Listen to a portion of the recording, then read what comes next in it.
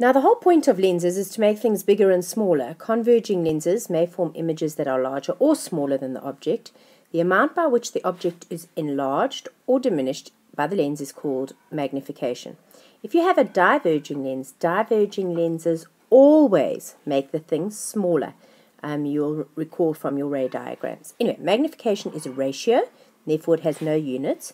It's the image distance over the object distance or the image height over the object height.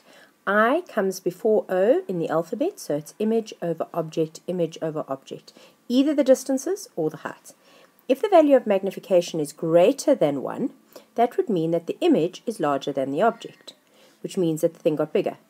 If the magnification value is smaller than 1, then the object is bigger than the image, and therefore the image got smaller. So the variables you need for calculating magnification may be given to you or you may have to determine them by means of an accurate ray diagram. We're going to do a ray diagram one. I mean, obviously, if they tell you the image height, the object height, and then you just have to su substitute and divide. Um, but here we're going to draw it.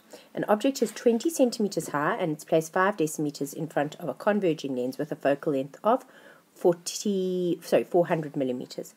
I'm going to change all of these to um, centimeters.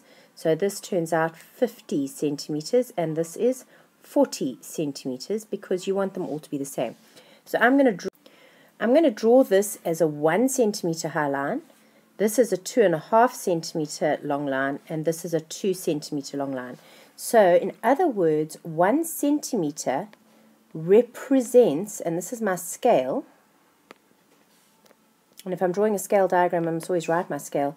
20 centimeters. It doesn't equal 20 centimeters, it represents 20 centimeters. It is a um, ratio rather than an actual equality. So now, if I take a look at this diagram over here, we have got um, 20 centimeters is 1 centimeter. I draw 1 centimeter line high for the object, and it's 50 centimeters from the optical center, so it's 2,5 centimeters. I draw this 2 centimeters, 40 centimeters is 1 plus 1, 2. That's 2 centimeters, that's 2 centimeters, and that is 2 centimeters. I draw a line parallel, take it through F, draw another line through M until they intersect with each other, and I get an image over there. Measuring out the image height is 4 centimeters, and the image distance over here is 10 centimeters. So what is that really? Multiplied by 20, it's 80 centimeters, and my image distance, if I multiply by 20, is 200 centimeters. Now let me substitute that in to the magnification ratios. Magnification is image height, 80, over object height, 20, I get 4. So this has been enlarged 4 times. Same would be true if I took 50 and divided it by 200, I would have it enlarged four times. So here are both of those um, calculations and you can see how you get a magnification. You obviously only have to choose one of these two, but I'm showing you that the two give you the same answer.